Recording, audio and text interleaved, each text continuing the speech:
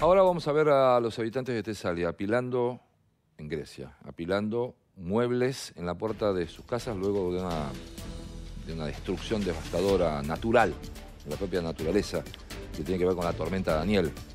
Son residentes de Tesalia que fueron vistos apilando sus muebles afuera de sus casas, mientras la devastadora tormenta Daniel dejó estas imágenes este, y afectó a toda la región en las últimas semanas con este rastro de destrucción ¿no? dentro de cada uno de los hogares que usted observa en imágenes.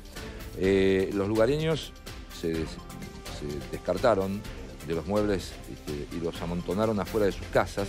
La secuela del desastre eh, natural han obligado a los miembros de la comunidad a organizar donaciones de ropa y alimentos para los necesitados. Según informe de los medios locales, las inundaciones cubrieron un área de aproximadamente 72.000 hectáreas y más de 85.000 animales se ahogaron o eh, sus refugios fueron destruidos. Según los informes, al menos 16 personas han muerto en el país tras estas inundaciones.